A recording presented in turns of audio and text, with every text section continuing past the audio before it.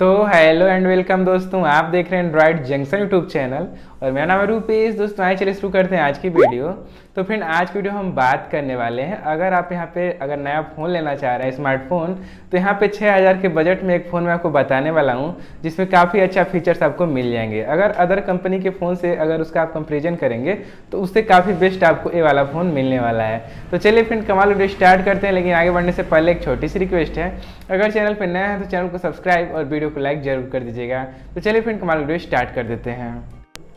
तो फ्रेंड जो फ़ोन है, उसका नाम है फ्रेंड यहाँ पे रियल मी सी टू जिसमें काफ़ी अच्छा फीचर्स आपको मिलने वाले हैं। पूरा डिटेल से मैं एक एक यहाँ पे स्टेप बाय स्टेप बताने वाला हूँ इसका फीचर तो वीडियो में आखिरी तक बने रहिए और आइए हम बारी बारी समझा लेते हैं कैसे कैसे, क्या है।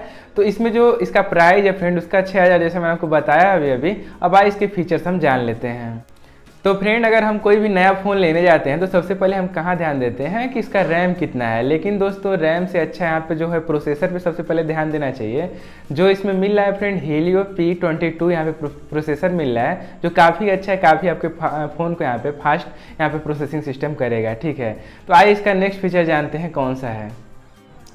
तो फ्रेंड जो इसमें रैम मिल है, इस फ़ोन का रैम है टू जी और जो इंटरनल स्टोरेज है, वो मिल जाती है आपको सोलह जी तो काफ़ी अच्छा इतना स्टोरेज हम लोग के लिए काफ़ी है और रैम भी काफ़ी अच्छा यहाँ पे मिल रहा है। और अगर डिस्प्ले की बात करें तो यहाँ पे जो डिस्प्ले मिल रहा है six six point one inch की एच डी प्लस डिस्प्ले हमको मिल रही है। तो काफ़ी अच्छी डिस्प्ले भी है और काफ़ी अच्छा मूवी वगैरह हम इंजॉय कर सकते हैं।